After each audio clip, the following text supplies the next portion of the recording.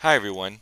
In this video I'm going to show you how you can test for specific indirect effects in AMOS via the user-defined estimands approach. Now before we get started I should note that underneath the video description you will find a PowerPoint presentation that I've put together on this topic and it goes into a lot more detail than I'm going to be covering in this video so I'm mainly going to be focusing in on the walkthrough of how to perform the analyses but if you want more detail check out the PowerPoint. Uh, also underneath the video description you will find uh, a link to the SPSS data file as well as the AMOS file. This demonstration is actually pivoting off of a previous demonstration where I uh, showed you how you can uh, set up and run a basic path analysis model in AMOS. And uh, the analysis was based off of some data associated with this article uh, entitled Relationship Between Anxiety and Burnout Among Chinese Physicians, a moderated mediation model, which was found at the PLOS ONE website. So I have uh, uh, information on that in the PowerPoint, so you can be sure to go there if you want to read more. So let's go ahead and get started. I'm going to uh, basically open up uh, the path model that I've drawn in that previous video and we're going to start there. So I'm going to go ahead and assume that you know how to set up a basic AMOS model. So here we have our model drawn out. Basically in this model, uh, really quickly we'll go over the variables. We have extroversion and neuroticism. These variables are predicting anxiety uh, and we have mediators in the model of positive coping, burnout, and negative coping. So what we're going to do in this demonstration is uh, test for the indirect effect of neuroticism on anxiety um, and basically we're going to uh, test several specific indirect effects. Now before we do this, let's go ahead and uh, what we're going to need to do is to label our paths that are going to be um, utilized in the computation of our estimands.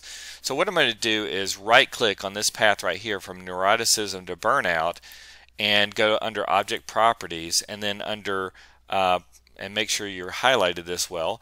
Um, under uh, regression weight, I'm going to type in P1. Excuse me, P1. There you go. Uh, then I will highlight this one over here, and I will type in P2. Uh, then I will uh, highlight this next one right here. This is just part of our demonstration. We'll call this P3. And then over here, we'll call this one P4. Then uh, this one right here, we'll call it P5 and then the last one we will click on that arrow and we, we will call it P6. Now as we're looking at our uh, figure right now, basically each of the paths are representing direct effects of one variable on another. So uh, P1 represents the direct effect of neuroticism on burnout. P2 is representing the direct effect of burnout on anxiety right here. Uh, P3 is representing the direct effect of neuroticism on anxiety.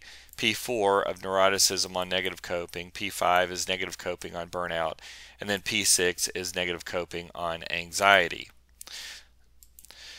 Now, if I want to talk about the indirect effect of neuroticism on anxiety, basically there are several uh, components of the indirect effect. So essentially, if I was to multiply P1 and P2 right there, that would get me the specific indirect effect of neuroticism on anxiety via the mediator burnout.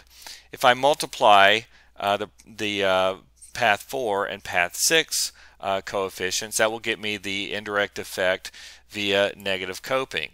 If I was to take the product of path 4, path 5, and path 2 up here, then that would get me the indirect effect essentially through a serial mediation where I have the mediators of negative coping and burnout.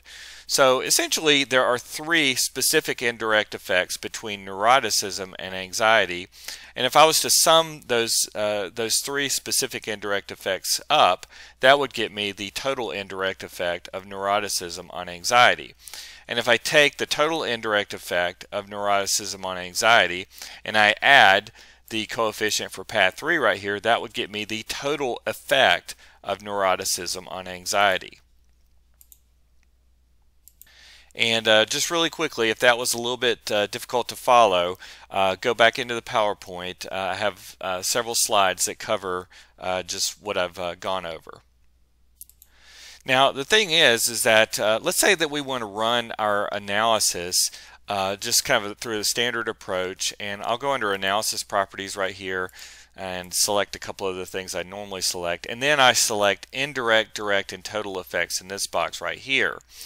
Um, then this selection, what it's going to produce are uh, essentially the total indirect effects along with the direct and total effects.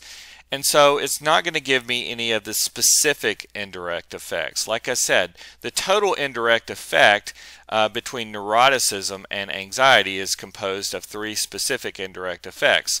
So although I would get the total indirect effect using this option right here, I won't get the specific indirect effects that comprise that total effect. Um, so just uh, really quickly, just to show you, if I go under Bootstrap right here, um, and I click on uh, perform bootstrap I've set this for 2000 I'll select uh, bias corrected confidence interval. I've set this at 95% again these are covered in the uh, PowerPoint. Um, if I run this analysis and go under my uh, text output right here and go under estimates and then matrices uh, right here you can see as I kind of scroll down I have the indirect effects and this would be the total indirect effect of neuroticism on anxiety which is 0.005799 and then if I uh, click on um, the the uh, indirect effects and then bootstrap confidence, you can see I've got the lower bound of, of an interval and the upper bound of the confidence interval around our, um, our estimate. But again, I don't have uh, the specific indirect effects uh, represented. So to do that, what I can do is uh, use the user-defined estimand option. And so uh, it's a little tricky to see maybe in this video, but at the bottom of your screen right here, it says not estimating any user defined estimand. So what I want to do is to uh, click on this little box right here and then go under uh, define new estimand. So when I click on this, this box is going to open up and this is where I'm going to uh, add some syntax uh, to compute some estimands, basically those specific indirect effects. And I've also got a couple of additional computations I'll show you as well. But the main thing is, is that as we're computing, you have to reference the labels that are in um, our figure right here. So the P1 all the way through P7, or excuse me, P6, the path 1 path all the way to uh, path 6, we have to reference those. So um, what I'm going to do first off is I'm going to create a comment line. I, I can do that just by using an apostrophe. And I'm going to type in computing specific indirect effects. This is just something just kind of showing you that you can use uh, comment lines in this. It's, the program's not going to read it or try to do anything with it, but it's, it can be helpful when you're setting up uh, syntax files. Then next, what I will do is I will type in SIE1, and I'm just calling that. That's for that's the the name of my first estimand, which is just referring to um, uh, my reference to specific indirect effect, the first one.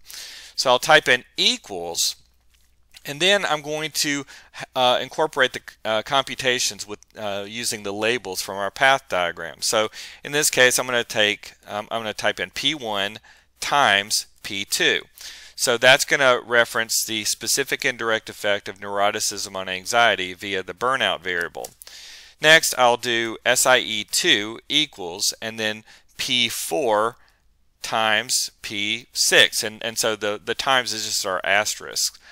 So that's going to reflect the indirect effect of neuroticism on anxiety via ne negative coping. Then I'm going to do SIE3 equals, and then we'll say P4 times P5 times P2. And that will be the indirect effect of neuroticism on, anxi on anxiety via the uh, serial mediation through the mediators of negative coping and burnout. Um, also, let's just say that I want I wanted to compute the total indirect effect, which is which we already uh, generated in our output, but I can do that too. I'm just going to say to, uh, computing total indirect effect right here, and I'll just uh, type in TIE. That's just the name I'm giving uh, the estimand, and then I can type in SIE1 plus SIE2 plus SIE3. So notice I can I can use uh, previous estimands in the computation of later estimands. So this can be a really handy tool to use or have um, if if uh, certain pieces of output are not generated that you that you might be interested in having. Let's do another one. We'll type in uh, computing total effect. So in this case right here, I'll just uh, title or label the estimand TE and then say equals TIE, which is our total indirect effect, uh, plus uh, P3, which is our path 3 from our model. So you can see that right there. So once you've typed in your estimands, then you'll need to check your syntax. So you have to click on this button right here for check syntax, and you'll see it says syntax is okay. The next step is to save um, the file. So I'll, I'll uh, go to File, Save As, and I'll just uh, I'll just call this uh, path analysis demo. Uh, actually, I've already saved it. I'll just save over that. And there you go. So now once that's done, I can click out, and at the bottom of your screen, you've got the uh, name of that particular file. It says Estimating Path Analysis Demo. So now we are ready to go in terms of running our analysis. But just make sure um, that when you're using the user-defined estimand, you have to use that in conjunction with bootstrapping. So uh, again, going back under analysis properties, we've selected our bootstrap option, so we're, we're good to go. Now one limitation in AMOS is that you cannot bootstrap or perform bootstrapping through that uh, option um, if you happen to have missing data. So uh, that is a limitation. So um, I'm just kind of warning you that if you try to run the a bootstrap analysis without um, and you have missing data, you'll end up with an error message. So it's just kind of a that's one of the more uh, kind of frustrating aspects of the program. But nevertheless, we can go ahead and click on Calculate Estimates. And so we'll now go back under View Text right here under Estimates. And you'll see under Scalars, we can double click there and then go down to User Defined Estimates. So these are the unstandardized um, uh, estimands that we've uh, that we've generated. So these coefficients are in unstandardized form because we're computing the estimates based on the unstandardized uh, path coefficients. But you'll see right here the TIE, that's exactly what we generated previously uh, under the analysis properties um, options. And so it was uh, the total indirect effect is 0.005799, exactly the same.